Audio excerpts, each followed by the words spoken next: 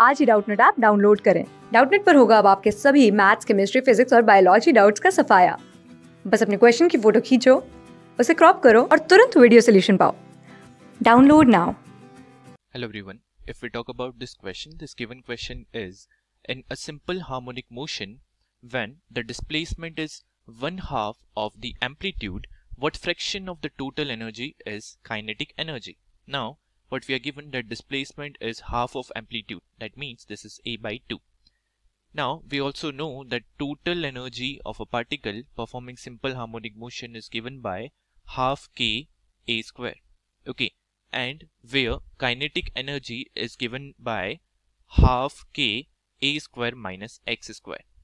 Now at displacement x equals to a by 2, kinetic energy will be equals to half k half k a square minus a by 2 square which is a square divided by 4.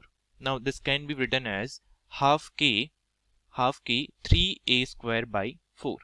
Okay, so this is nothing but 3 by 4 times of half k a square 3 by 4 times of half k a square so what i can say that kinetic energy is nothing but 3 fourth of total energy since half k square is total energy so this can be written as 3 by 4 times of total energy so kinetic energy divided by total energy which is the kinetic energy is the fraction of total energy this is equals to 3 by 4 so kinetic energy is 3 fourth of total energy this is the fraction I hope you understood. Thank you.